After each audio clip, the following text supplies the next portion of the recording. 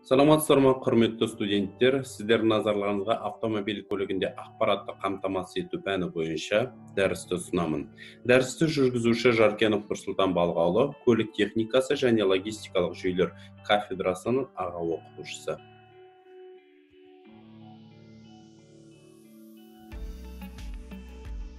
Автомобиль көлігінде ақпаратты қамтамасыз ету сабағы жайында айтып кететін болсақ сабақтың негізгі мақсаты ретінде ақпарат пәннің мақсаты мамандарды ақпараттық технологиялар облысында даярлау.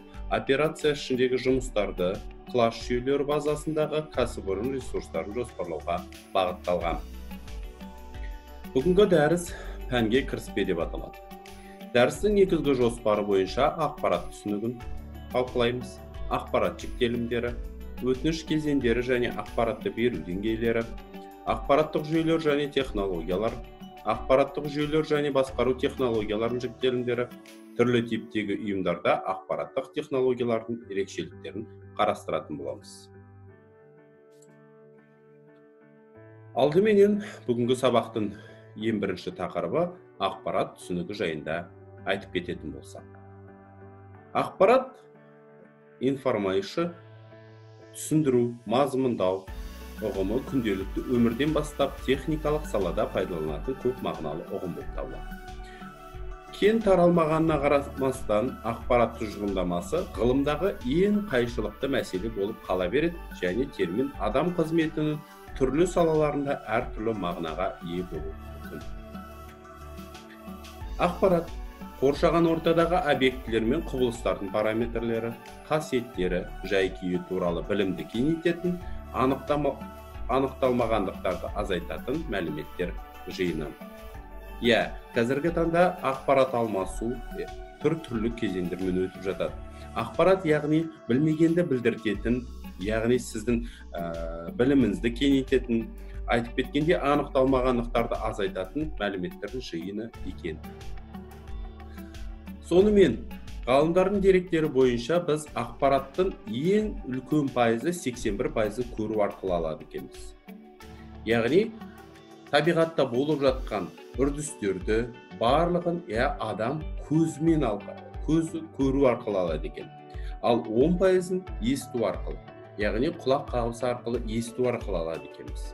Ол қандай да бір дыбыс әуен иә немесе біреудің сөзі сөйлеген соны барлығын есту арқылы он пайызын алады екенбіз. Ал төрт пайызын адам ақпаратты иіскеу арқылы алады екен яғни иісті сезіну арқылы төрт пайыз ақпарат ала алады екен.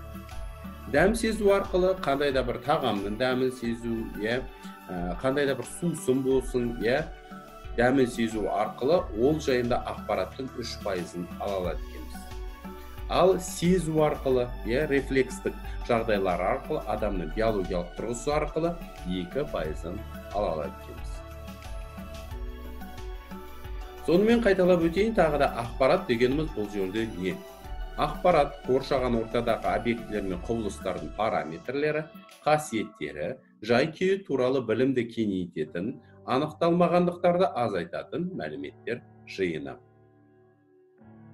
Құрметті студенттер өздеріңіз көріп тұрғандарыңыздай бұл сабақ яғни ақпарат ақпарат ақпарат түсінігі және де ақпараттық технологиялар деп жатырмыз иә. Осылардың барлығы сіздердің алдыңғы семестрде өткен информатика пәнімен ұқсас келеді.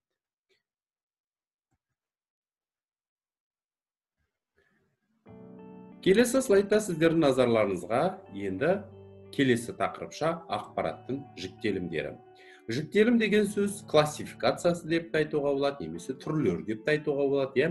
Яғни ақпараттың түрлерін қарастыратын боламыз. Енді ақпаратты өзінің тұрғысынан шығу облысына байланысты мынандай түрлерге бөлуге болады. Яғни ақпараттың қарапайым түрі бар биологиялық түрі бар әлеуметтік түрі бар иә? Енді қарапайым түрі дегеніміз не ақпараттың қарапайым түрі дегеніміз бұл жансыз табиғатта болып жатқан құбылыстар мен процестерді бейнелейді иә бұл яғни қарапайым түрі және де биологиялық түрі бұл биология деген сөзді еститін болсақ иә био деген яғни табиғат иә аясында өсімдіктер жануарлар әлеміндегі процестерді бейнелейтін иә ақпараттың түрін айтуға болады ал әлеуметтік дегеніміз әлеумет сөзін еститін болсақ яғни қоғамдағы адам туралы процесті бейнелейтін екенін біліп жатамыз. Иә яғни әлеуметте болып жатқан қоғамда болып жатқан барлық ақпараттарды үрдістерін барлығын бейнелейді. Ол адамның практикалық өмір тіршілігімен тығыз байланысты. Сондықтан адамның қанша тіршілік түрі болса сонша әлеуметтік ақпарат түрі мен типін ажыратуға болады. Мысалға алып қарайтын болсақ қоғамға байланысты ақпаратты көпшілік арнайы және жеке деп жіктеуге болады. Әлеуметте болып жатқан ақпаратты иә көпшілікке де жеткізуге болады. Мысалға көпшілікке қандай да бір салмақты ақпарат немесе ескерту ақпарат немесе бір жағымды ақпаратты барлығын иә жаңалықтар арқылы көпшілікке жеткізіп жатады. Бұл ақпараттың көпшілік түрі болады. Ал арнайы хабарлар арнайы ақпараттың түрі яғни бір ведомстволық түрге немесе бір арнайы түрде мысалға арнайы тақырыпқа байланысты айтылатын болса бұл ақпараттың бір түрі деп айтуға болады арнайы түрі. Ал жеке деп жіктеуге тағы да болады. Жеке дегеніміз яғни белгілі бір адамға белгілі бір салаға байланысты белгілі бір ведомствоға байланысты тағы да иә? Жеке адамның өз басына айтылатын ақпарат болатын болса бұны жеке деп айтады. Өздеріңіз көріп тұрғандарыңыздай астында ақпараттың түрлері сызып жазылған иә ақпараттың негізгі үш түрі бар екенін көріп тұрмыз. Бұл шығу облысына байланысты. Қарапайым биологиялық әлеуметтік. Соның ішінде көріп тұрғандарыңыздай әлеуметтік көпшілік пен жеке түрге бөлінеді.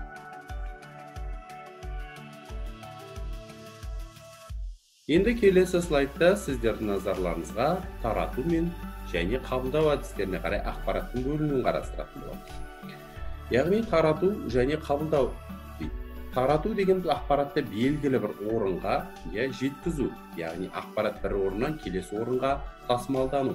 Яғни тасымалдау барысын біз өздеріңіз білесіздер логистика деп айтады. Бұны бұндай ақпаратты бір орыннан екінші орынға тасымалдайтын түрін мысалы ақпараттық логистика қызметі көбінесе жұмыс жасап отыр.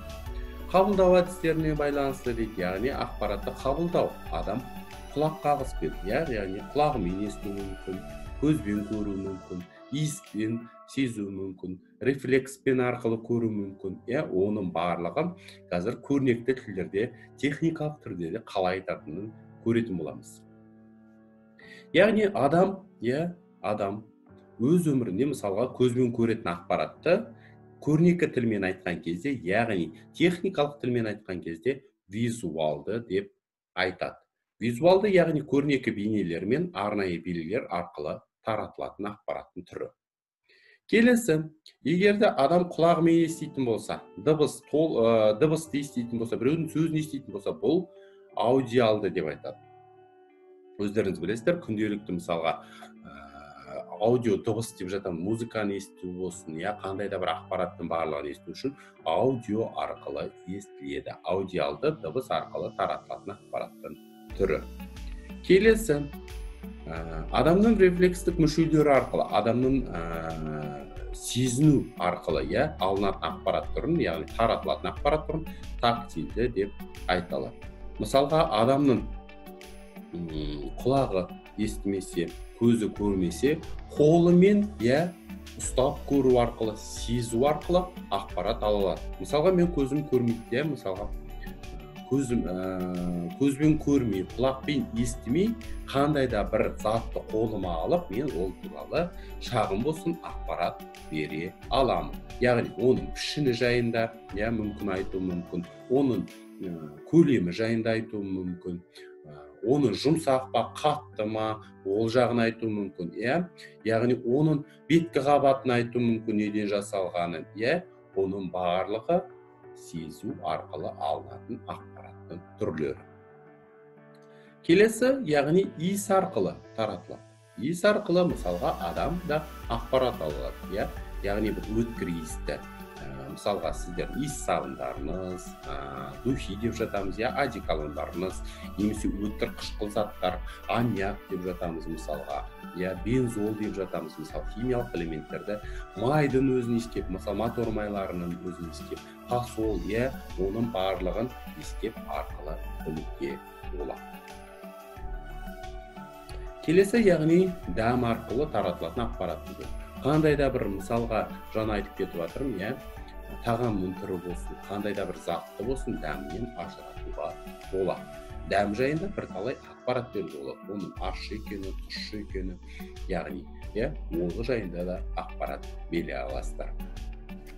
Және де қазіргі таңда қазақстан республикасының болсын барлық мемлекеттерде болсын 21 бірінші ғасыр қазір техниканың дамыған заманында иә цифрландыру технологиясы кеңінен қолданылып келе жатыр. Иә диджитал системасы иә диджитал жүйесі сол себептен де қазіргі таңда өздеріңіз білесіздер жиырма бірінші ғасырда бізде не бар есептеу техникасы машиналық есептеу техникасы яғни компьютерлар бар иә компьютерлардың көмегімен ақпарат таратылады ақпарат қазіргі таңда тек қана компьютермен емес телефон арқылы ұялы телефондарыңыз бар иә факстеріңіз бар телеграмдарыңыз бар телеграф бар тағы да басқа көптеген иә технологиялар бар ақпараттық жүйелер бар солар арқылы таратылады. Түсінікті ғой. Тарату және қабылдау әдістеріне қарай ақпарат сонымен визуалды түрде көру арқылы аудиалды түрде есту арқылы тактильді түрде сезім арқылы иіс арқылы дәм арқылы және де есептеу машинасын арқылы алынады және таратылады. Енді келесіге тоқталатын болсақ бұл яғни ақпараттың берілуінің басқа пішімдері ақпарат қалай беріледі иә? Жаңа біз қабылдап алдық иә тараттық мысалға. Енді берілуі. Яғни ақпарат қалай ала аламыз ақпаратты қалай береміз? Ақпаратты беруіне байланысты біріншісі таңбалы дейді иә? Таңбалы яғни оның ішінде мәтіндік әріп цифр таңбалар түрінде берілуі мүмкін. Мәтіндік дегеніміз яғни компьютер желісінде иә компьютер түрде мысалға электронды түрде басып алынған мәтіндерді иә яғни әріптер арқылы цифрлар арқылы қандай да бір белгілі таңба арқылы беретін болсақ ақпаратты ол таңбалы түрі деп айтылады. Келесі түрі графикалық түрі. Графикалық түр деп өздеріңіз білесіздер бұл жерде суреттер бейнелердің көмегімен және тағы басқалардың көмегімен беріледі. Графикалық тұр сурет арқылы қандай да бір ақпарат беріп жіберуге болады иә. Мысалы мен алып тек қана сурет салып жіберсем ол адамға да бір белгілі бір ақпарат жетеді. Яғни ол суретті көре тұра ә, ақпарат ала алады. Немесе бейнелер иә бір қандай да бейнелер жіберетін болсам сол туралы ақпарат беріледі. Ең соңғы түрі яғни дыбыстық. Қазіргі таңда өздеріңіз білесіздер қолдарыңызда ә, ұялы байланыс телефондарыңызда whatsapp желісі болсын қандай да бір болсын ә, басқа да сөйлесу ә, бағдарламалары арқылы иә хабарласу бағдарламалары арқылы сіздер не істейсіздер қазір жазып қана қоймай иә аудио дыбыстарын тез оңайырақ жібере саласыздар. Бұл яғни дыбыстық түрі ақпараттың берілуі. Және де бұл жерде тағы да бір түрін қосып кетуге болады ақпараттың берілуінің түрі толқындық ақпарат бар. Өздеріңіз білесіздер қазіргі таңда ә, радио теледидар иә барлық бұлардың барлығы толқындық түрде келетін ақпараттың түрлері. Әуе толқынында деп жатады. Мысалға иә радиоларыңыз сол толқындық ақпарат беруге де болады. Енді құрметті студенттер ә, ақпараттың қасиеттеріне керек өздеріңіз көріп отырғандарыңыздай алдыңғы ә, слайдтарда біз яғни ақпараттың берілу түрлерін қабылдау түрлерін тарату түрлерін иә ақпарат дегеніміз не екенін өтіп жаттық енді ақпараттың қандай қасиеттері бар? Ақпараттың негізгі қасиеттеріне мысалға өзектілігін алуға болады иә ақпараттың өз уақытына берілуіне байланысты ақпарат өзекті болады. Мысалға таңда қазіргі таңда жиырмасыншы жылда қандай ақпараттар өзекті? Өздеріңіз білесіздер күнделікті пандемия коронавирус мысалға өзекті тақырып. Қазіргі таңда. Келесі. Ақпараттың толықтығы ақпараттың көлеміне байланысты. Иә? Мысалға ақпаратты толық беру толық жеткізу. Мысалға жарты ақпаратты беріп жартысын жібермей қалсаңыз ақпаратты мысалға толық жетпей қалады. Мысалы бір сіз адамға дыбыстық аудио жіберсеңіз иә бір ортасын айтып қалғанын жібермей қалсаңыз ол ақпараттың толымсыздығы. Яғни ақпарат толық жеткен жоқ. Адам әлі түсінген жоқ сіз не айтайын деп. Мысалы мен бастадым мақсат қалайсың? Мақсат бүгін дедім да жібере салдым. Бітті. Жаңағы мақсат мысалға ойланып қалды. Бүгін нұрсұлтан балғаевич не деді маған? Не дегісі келді. Бұл яғни ақпараттың толымсыздығы ал егер де мен мақсат бүгін сағат 12.00-де сөз сабағы болады сабақтан қалма қатыс десем яғни бұл ақпараттың толық түрі екенін біле аласыздар. Келесі. Ақпараттың объективтілігі дейді. Объективтілігі яғни адам факторына байланысты. Дейді өздеріңіз білесіздер адам факторлар қандай факторлар бар? Сол факторларға байланысты ақпараттың қасиеті бұл объективтілігі. Келесі ақпараттың жеткіліктігі қойылған талаптарға байланысты. Яғни белгілі бір талап қойылады соған байланысты ақпаратты толық жеткізілу керек иә? Бұл ақпараттың жеткіліктілігі. Келесі ақпараттың адекваттылығы дейді иә адекватность дейді. Шындыққа сәйкестігі яғни ақпарат шындыққа сәйкес болу керек. Жалған ақпарат бар және шындыққа жанасатын ақпарат бар иә қазіргі таңда. Көбінесе мысалға фейк деп жатады иә. Фейк ақпарат деп жатады. Яғни бұл жалған ақпарат. Ал бізге негізгі түпкі ақпарат ол адекваттылығы яғни шындыққа сәйкестігі шындыққа жанасатын ақпараттың керектігі келесі ақпараттың қолжетімділігі қажетті ақпаратқа қол жеткізу мүмкіндігі. Яғни өздеріңіз білесіздер ақпарат тек қана қолжетімді ақпараттар ғана бола қоймайды яғни қолжетімсіз ақпараттар болады. Яғни ол заңды түрде белгілі бір мысалға қазіргі таңда ақпараттардың түрлерін өздеріңіз білесіздер. Белгілі бір жерде мәтіндік ақпараттарды ссылка жасамай иә яғни сілтеме жасамай ала алмайсыздар.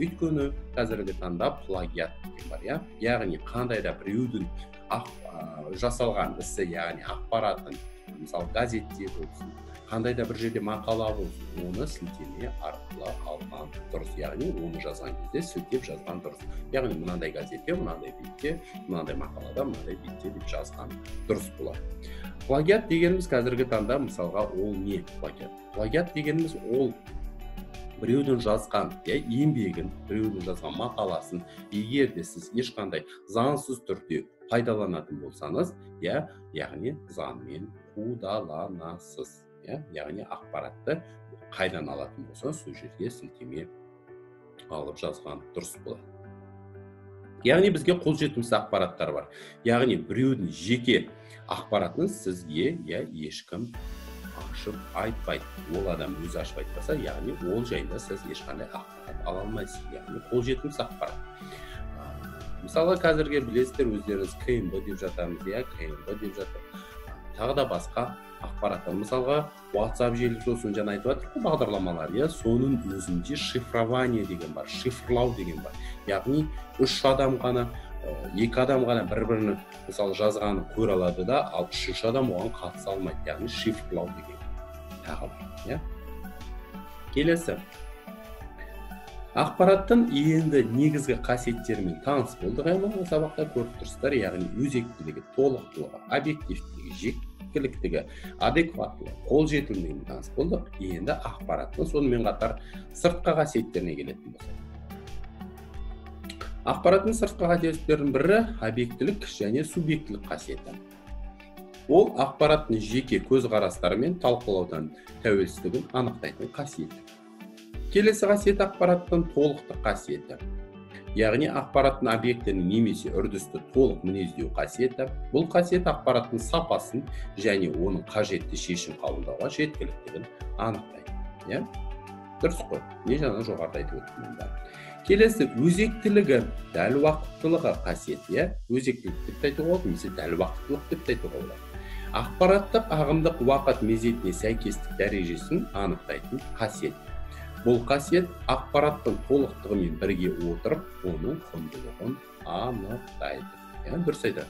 Мысалға біз қандай да бір кәсіпорынның иә жағдайын айтатын болсам бүгінгі күнде мысалға жағдайын айтып оның күнделікті өсіп келе жатқанын айтсам қазіргі таңға өзекті мәселе ретінде айтатын болсам ол яғни не болады құнды ақпарат болады иә?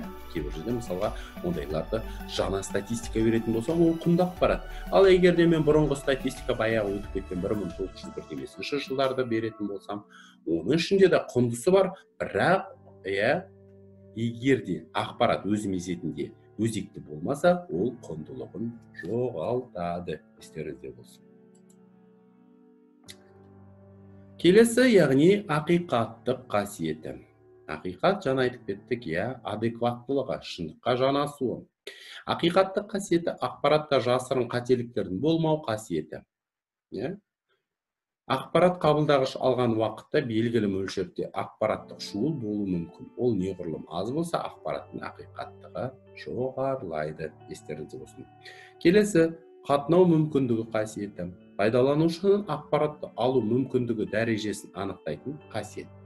Ақпаратқа қатынау мүмкіндігінің жоқтығы оны қатынауға мүмкін емес етеді. Келесісі адекваттық қасиеті ақпараттың өзі бейнелейтін объектіге немесе құбылысқа үрдіске бір мәнді сәйкестігін анықтайтын қасиет. Бұл қасиет ақиқаттық және қолданушы мұқтаждығына сәйкес келу қасиеттерімен анықталады. Және де эргономдық қасиеті иә эргономика саласы деп жатамыз эргономика саласы өздеріңіз білесіздер яғни ә, мысалға адамға байланысты эргономика алатын болсақ иә қандай да бір қызметкер болсын қандай да бір маман болсын соның жұмысын иә мысалға жұмыс орнын деуге болады жұмысын яғни өзіне комфортабельді түрде дейді ғой иә? Комфортабельді түрде дайындауды эргономика саласы көбінесе қарастырады. Яғни жұмысты оңайлату жұмысты жеңілдетуге арналған процесстерді технологиялар мен эргономика қолдама айналысады белгілі қолданушы үшін ақпараттың пішімі мен көлемінің ыңғайлылық дәрежесін көрсететін қасиет иә? Ыңғайлы қылып жасау. Яғни жұмыс орнын ыңғайлы қылып жасау қандай да бір технологияны ыңғайлы қылып істеу оның барлығымен эргономика айналысады яғни қасиеті яғни біз ақпараттың түрімен ақпараттың иә берілуіне байланысты таралуына байланысты қабылдануына байланысты сыртқы қасиетімен иә ақпараттың негізгі қасиеттерімен таныс болдық енді осы ақпараттардың ішінде енді ақпарат технологиясы қазіргі таңда өздеріңіз білесіздер IT мамандықтары өте жоғары қолданыс үстінде яғни сұраныс үстінде иә IT мамандары ақпарат технологиясы иә ақпараттық жүйелер келесі біздің тақырыбымыз жазып қойыңыздар енді ақпараттық технология ақпарат технологиясы дегеніміз не? Ағылшын тілінен аударғанда information technology яғни IT иә қысқаша жазғанда объектінің үрдіс немесе процестің немесе құбылыстың күйі туралы жаңа ақпарат алу үшін мәліметтерді жинау өңдеу жеткізу тәсілдері мен құралдарын жиынтығын пайдаланатын үрдісті айтады. Яғни ақпарат технологиясы дегеніміз белгілі бір жаңа ақпаратты алу үшін мәліметтер жинау өңдеу жеткізу тәсілдері мен құралдарын жиынтығын пайдаланатын үрдісті айтады сонымен ақпараттық жүйе дегеніміз не иә ақпарат технологиясы дейді жаңа ақпарат технологиясын қайтадан айтатын болсақ бұл жерде ақпарат ақпараттық технологиясы деген яғни жаңа технологияларды қолдану иә компьютеризация дейміз иә қазіргі таңда диджитал бағдарламасы. Қазіргі таңда мысалға құжат айналымын автоматтандыру автоматизациялау бұның барлығы ақпараттың технологиялары болып табылады.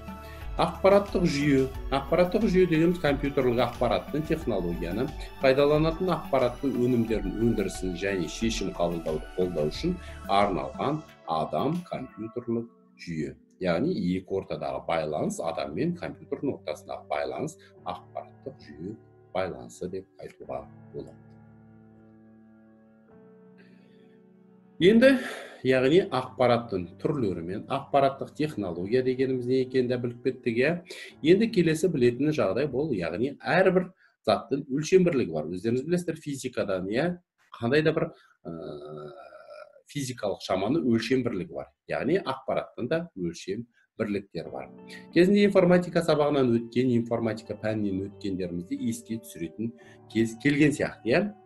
Яғни ақпараттың өлшем бірліктері бит байт килобайт мегабайт гигабайт терабайт деп жоғарылап кете береді.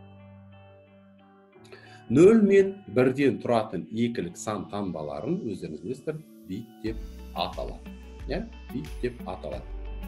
Бит ағылшынша тіліндегі бит binary digit екілік таңба деген қысқарған сөз естеріңізде болсын иә бит деген сөз қысқарған түрде екілік таңба деген сөзді білдіреді компьютерде қолданылатын символдық таңбаларды бейнелейтін сегіз разрядты екілік санды иә естеріңізде болсын сегіз разрядты екілік санды байт ағылшынша байт деген сөзінен алынған иә? Яғни бұл сегіз разрядты екілік санды байт деп айтады. Өздеріңіз білесіздер бір байтта сегіз бит бар иә?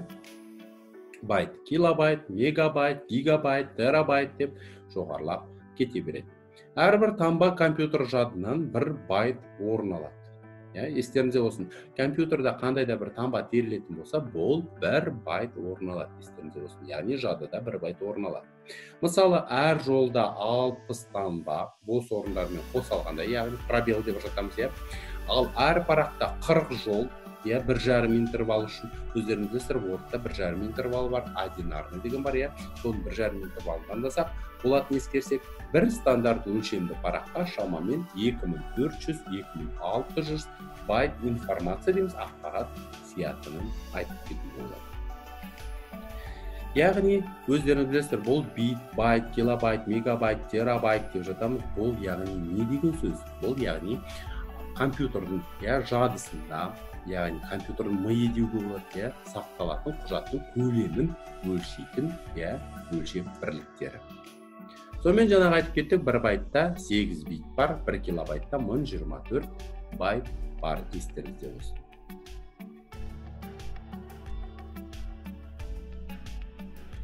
Келесі яғни қарастыратын мәселе бұл автомобиль көлігі негізіндегі ақпараттық жүйелердің жүктелімдері иә енді біз ә, негізгі түбі яғни ақпараттардың иә жүйелердің жіктелімдерін автомобиль көліктерінде негізгі түрлерін былай қарастырып өтейік. Автокөліктегі ақпараттық жүйелер өздеріңіз білесіздер екі түрде беріледі. Автоматтық және автоматизацияланған. Автоматтық дегеніміз адамның қатынассыз жүретін үрдісті айтуға болады автоматизацияланған дегеніміз адамның қатынасымен жүретін үрдіс. Автоматтық дегеніміз өздеріңіз білесіздер қазіргі таңда мысалға кеніне хайвил дейді иә. Тағы да мысалы бір кәсіпорындарды автоматтық түрге ауыстырып жатыр яғни не істейсіздер белгілі бір кнопканы бастыңыздар болды иә. Кәсіпорындағы процесс үрдіс өзімен өзі жүріп жатады иә. Соны мысалға айтуға болады бұны автомобиль көлігінде автоматтық түрі деп айтуға болады ал автоматизацияланған түрі өздеріңіз білесіздер адам қатынасымен жүреді яғни оның ішінде тағы да адамдар қосымша жұмыс істейді деген сөз кәсіпкер иә мысалға автоматтық түрде келтіруге болады оқу жүйесін автомобиль иә автоматтық мысалға өздеріңіз білесіздер қазіргі таңда беріліс қораптары бар иә автоматтық беріліс қораптары бар автоматтық беріліс қораптары арқылы сіздер не істейсіздер? Берілісті иә басқаруға болады. Немесе автопилот жүйесі бар иә қазіргі таңда руль автомобильдің рулін өзі жүргізеді яғни жүріске өзі иә жасайтын түрін бұны автоматтық түрде болады. Орналасу мекені иә gps дейміз. Қазіргі таңда gps системасы бар иә gps жүйесі бар. Ол арқылы анықтау яғни жүкті құжатты бизнес үрдістің барлығы бұны автоматтық түрге келтіруге болады бірақ та жаңа орналасу мекені болсын жүктің тасымалдануы болсын жылжымалы құрам болсын құжат айналымы болсын бизнес үрдістердің барлығын бұлардың барлығында автоматизацияланған түрлері бар бұл жерде де адам қатысады иә автоматизацияланған түрге мысалға автокөлік кәсіпорнын алуға болады автокөлік кәсіпорын өздеріңіз білесіздер екі түр бар яғни жүргізуші тасымалдайтын болса яғни автобус парктарыңыз иә мысалға таксопарк деп жатамыз иә соларыңыз ал егер де жүк тасымалдайтын болса онда бізде жүктерге арналған иә автокөлік кәсіпорны жүк тасымалдайтын автокөлік кәсіпорындары яғни оларды кешенді комплекстік деп жатамыз иә жоспарлау бөлімі планирование деп жатамыз иә. Мысалы автоматизацияланған жол парағы дейміз өздеріңіз білесіздер путевой лист иә. Қандай да бір яғни ә, жолаушы тасымалы болсын жүк тасымалы болсын міндетті түрде істейді жол парағы толтырылады. Және басқарудың түзірі автоматизацияланған түрде басқаруға болады. Иә яғни кәсіпорынды автоматизацияланған түрде басқарады талдаулар жүргізу автоматизацияланған. Иә мысалы кәсіпорынның жағдайын кәсіпорын экономикалық тұрғысын қаржылық тұрғысын ә, яғни қандай да бір болжау жасау үшін не істейді талдаулар жүргізеді. Ә, қазіргі таңда мысалға өздеріңіз білесіздер экономика жағымен яғни қаржы жағымен айналысатын ғылымдар бұл есепші маман бөлімінде автомациялық түрде келтіруге болады. Сонымен қатар автоматизацияланған түрде логистика иә логистика деген жаңа айтып кеттім мен сіздерге жинау өңдеу ә, жобалау иә ұйымдастыру барлық қызметтердің барлығы логистика ғылымына кіреді. Логистиканың негізінен келе жатсақ жаңа басынан айтып келе жатқан қасиеттер болсын ақпараттың иә түрлері болсын берілу болсын таратылу болсын соның ішінде логистиканың негізгі алты қасиеті жүр алты шарты жүр яғни ақпаратты не істеу? Дәл уақытында өз кезегінде жеткізу деген бар. Уақытында жеткізу. Яғни орнын білу керек иә орнын білу керек. Яғни логистика ғылымы не істейді? Ең соңында ең ақпарат болсын қандай да бір жүк болсын тасымалдау болсын тасымалдауды не істейді? Оңтайландыру яғни аз шығын иә? Өнім көп бол шығын аз болу келесі техникалық қызмет көрсету және ағымды жөндеу яғни автомобиль көлігі болғаннан кейін автомобильді иә техникалық қызмет көрсету және ағымды жөндеу жүргізіледі иә? Оны автомациялық түрге келтіру қазіргі таңда қолға алынып жатқан бірде бір процестердің бірі. Сосын кейін жаңағы ағымдар қозғалысы өздеріңіз білесіздер көлік ағындары мысалға өздері көлік негізгі түрлерін білесіздер. Иә автомобиль көлігінен бастап қазіргі таңда ғарыштың көлігіне дейін алып қарастыруға болады көліктің өзі негізгі түрлері автомобиль көлігі темір жол көлігі иә әуе көлігі деп жатамыз су көлігі деп жатамыз иә сосын құбыр көлігі және сол ең соңғысы ғарышты да қосуға болады енді келесі қарастыратын мәселе бұл материалдық өндіріс технологиясының мақсаты неде? Яғни материалдық өндіріс технологиясының мақсаты адамның немесе жүйенің қажеттіліктерін қанағаттандыратын өнімді шығару иә? Қандай да бір кәсіпорын болсын қандай да бір белгілі бір мекеме болсын оның негізгі түпкі мақсаты иә қандай да бір адам қанағаттанатын болсын иә жаңағы қанағаттандыруды шешу иә. Ақпараттық технологияның мақсаты алынған ақпараттың негізінде қандай да бір әрекетті орындау кезінде шешім қабылдау және оны келесі талдауына жаңа ақпарат өндіру. Ақпараттық технологиялар қазіргі таңда иә дәстүрлі қағаз түрінде және автоматтандырылған түрде жүзеге асады. Дәстүрлі деген қағаз түрінде иә бұрынғы кездерде мысалы қағазбен толтыратын болса қазір автоматтандырылған құжат айналымы бар иә документ аппарат деп жатамыз иә электронды деп жатады электронды түрге ауысып жатыр. Енді келесі қарастыратын мәселе бұл ақпараттық технологияның даму тарихтары. Ақпараттық технологияның даму тарихын қазіргі таңда уже жеті кезең алты жеті кезеңі пайда болды. Бірінші кезең 19 тоғызыншы ғасырдың екінші жартысына дейін қол ақпараттық технологиясы яғни бұл жерде құрал сиясауыт бухгалтерлік кітап кеңінен қолданылған. Негізгі мақсат ақпаратты керекті формада көрсету яғни ақпаратты белгілі бір форматта белгілі бір түрде беру. Иә негізгі мақсат болған бұл жерде. Келесі екінші кезең бұл 19 тоғызыншы ғасырдың соңынан бастап механикалық технология. Иә? Адам адамның жағдайы өсе келе адамның миы толыққала келе біз механикалық технологияға көштік. Бұл жерде құралдар яғни жазу машинкалары пайда болды. Телефон пошта фонограф телеграф дегендеріміз пайда болды. Иә?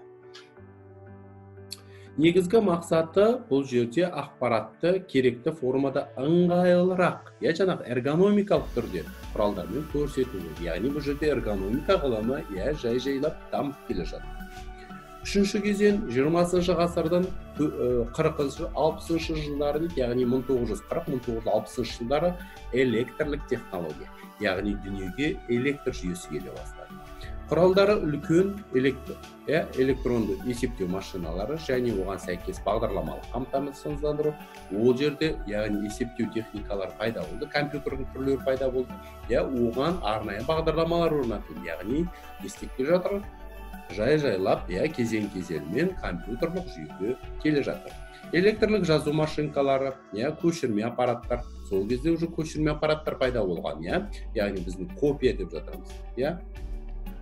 Ксерокс деп жатамыз. Соның барлығы пайда болды. Портативті магнитофондар дейді яғни үйде тұратын магнитофондар емес қол магнитофондар пайда болды. Иә магнитофондар дегенде білетін шығарсыздар кезіңізде иә кассеталарға жазылды. Видеомагнитофон дейміз иә. Магнитофон деп жатамыз кассетамен аудио ақпаратты тыңдауға иә өлең тыңдауға мысалы.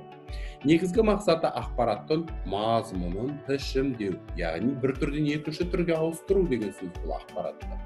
Келесі төртінші кезең яғни жетпісінші жылдардың басына дейін жиырмасыншы ғасырдың жетпісінші жылдар бұл яғни мың тоғыз жүз жетпіс мың тоғыз жүз жетпіс сексенінші жылдарда электрондық технологияның пайда болған кезі құралдары яғни үлкен электронды есептеу машиналары иә үлкен және оның базасына құрылған басқаруын автоматтандырылған жүйесі. Міне автоматтандырылған жүйе мың тоғыз жүз жетпісінші жылдан бастап бізде дамып келе жатты. Негізгі мақсаты ақпараттың маңызды жақтарын құрылымдау. Және бесінші кезең бұл 1980 жылдардың ортасы яғни 80-90 жылдар деп болады иә 85 жылдар. Бұл яғни жаңа компьютерлік технологиялардың енгізу кезеңдері. Құралдары көптеген бағдарламалық өнімдер мен дербес компьютер дүниеге келді. Қазіргі таңда өздеріңіз білесіздер 21 ғасыр компьютеризация иә бұл бұл жаңа кезең иә яғни бұл алтыншы жетінші кезеңдерге жатқызуға болады қазіргі таңда жүйелер көп өздеріңіз білесіздер көрнекті жүйелер бар оракл жүйесі бар ios жүйесі бар android жүйесі бар иә көптеген жүйелер қазіргі таңда не істеп келеді дамып келеді intel core жүйесі бар иә яғни құрметті студенттер дәріс осымен аяқталды иә дәрісіміз аяқталды. Бірақ дәрісті бекітуге арналған иә арнайы ә, тест сұрақтары бар иә сол тест сұрақтарын қазір қарастырып өтейік.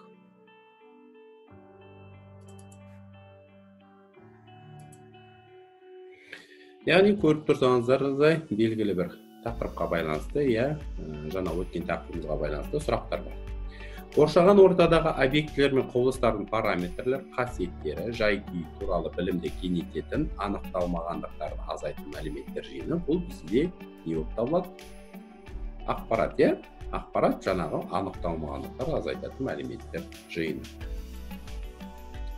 Келесі. Ғалымдардың деректері бойынша біз ақпараттың қанша пайызы көру арқылы беріледі? Иә бұл сіздерге үй тапсырма. Мен жаңа біреуін айттым келесін үй тапсырмада орындайтын боласыздар. Келесі сұрақ ғалымдардың деректері бойынша біз ақпараттың қанша пайызы есту арқылы аламыз? Соны жазып кетесіздер иә келесі сұрақ ғалымдардың деректері бойынша ақпараттың қанша пайызы иіскеу арқылы алынады иә сонымен қатар дәм сезу арқылы қанша беріледі?